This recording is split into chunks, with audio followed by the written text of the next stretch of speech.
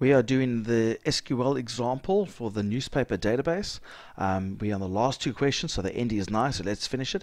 Remember this database has two tables. There's the clients table, which has details about our clients, and then there's the adverts table. All the clients that made um, adverts or in the classified section, the details of the adverts will be there.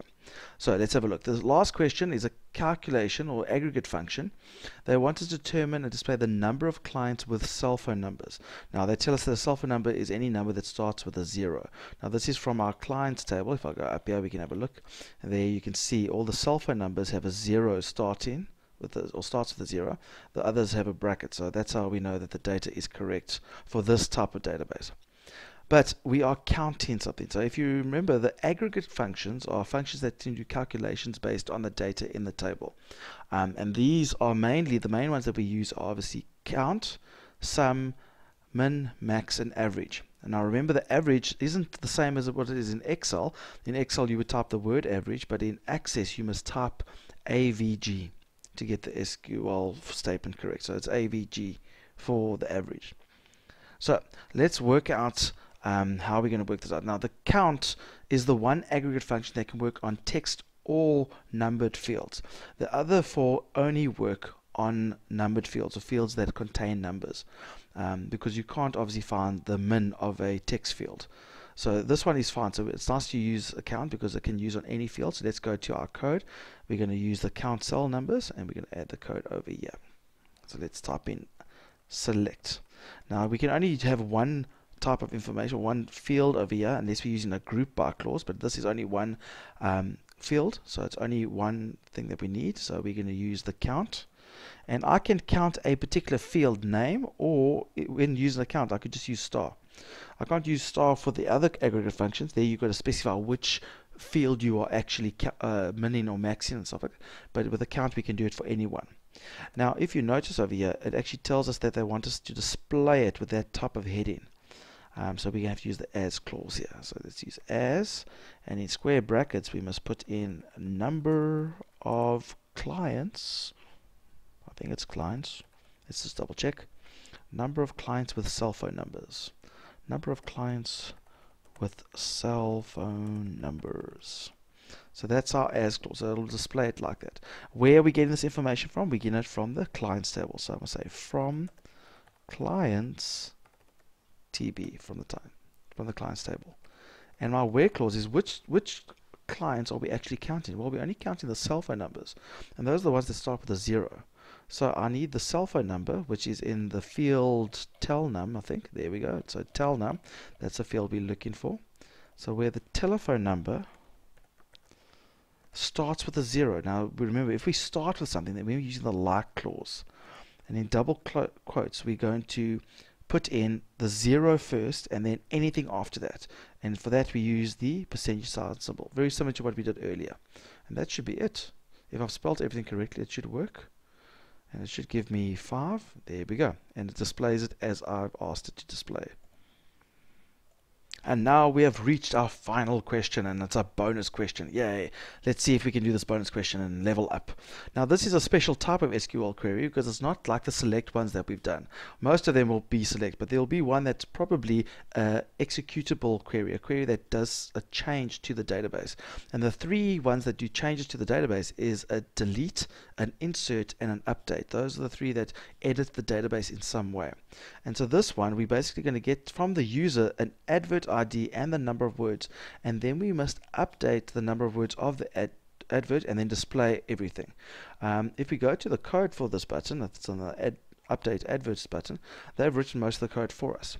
Now what they've got here, because it's an executable query, so it's not a select query, we're not going to say active equal true after we've run the code. We are just going to use the execute SQL.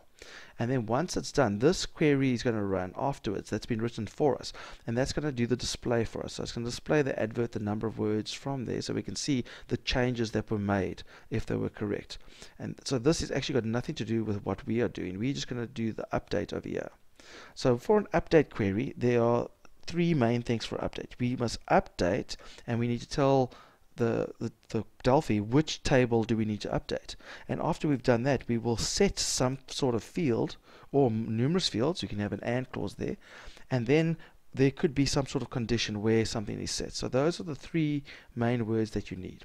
So first of all, let's update. What are we updating? We're updating the adverts table. So we say adverts TB. Then, what are we changing in this table? Well, they told us if we read carefully here, the number of words that we get from the user must be added. So I forgot about those two inputs. Let's just do them quickly as well. There's a big clue there, S advert, S number. So here, let's just do the inputs quickly. So let's get the advert ID from the user. Again, we should use an input box. Input box, and we'll say advert ID as the title, and then say please enter an please enter an advert ID.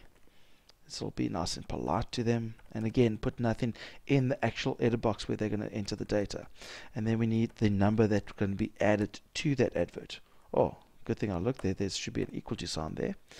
I'm going to use another input box. And this has got number to be added. That's my title. And please enter the number of words to be added. And there we go, it should be fine. Hopefully that'll work. So that's two input boxes. Now, if I was simply changing the number of words, remember we are adding on. So for example, we mustn't just take whatever we get from the user and change number of words to that value. We are updating it to be added. So if the person has 15 words, and we say we must add 5 to it, then we must change it to 20. So we take whatever's in number of words and add on the value that we get from the user. So I'm just going to write it as number of words equals whatever's in number of words plus some sort of value. I'm just going to put a value there for now. Later on we're going to change that to whatever the inputs are. And then, oh, am I writing that in the right place? No, I am not.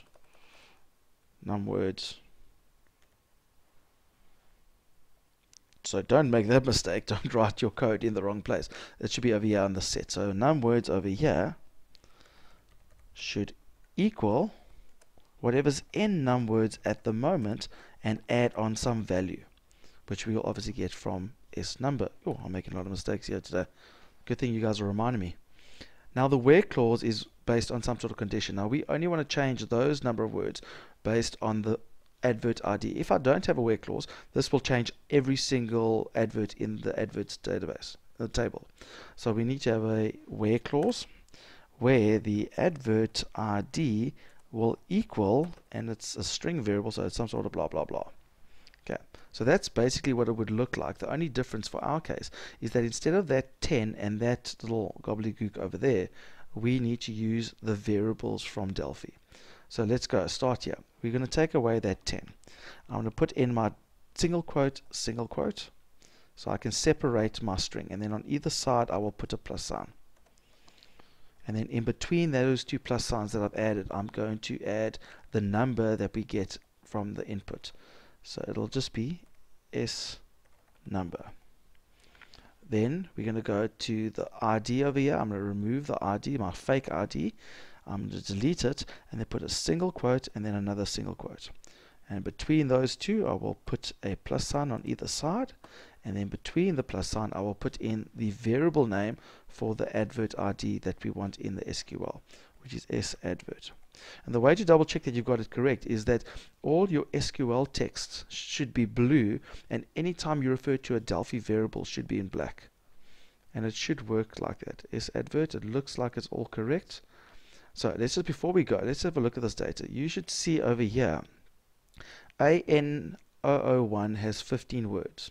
Hopefully when we run this, it'll, if we put in, for example, 5, it'll update it from 15 and take it to 20.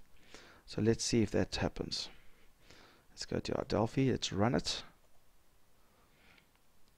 Update. So we want advert AN001 and we want to update it by 5 and we go. Please work please work. An001 is now 20 let's take another example just to be sure.